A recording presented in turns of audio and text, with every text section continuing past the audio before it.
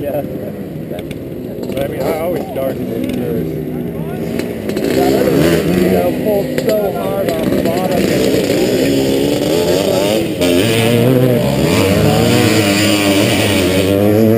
I responded pretty quick. I missed the shift at the end.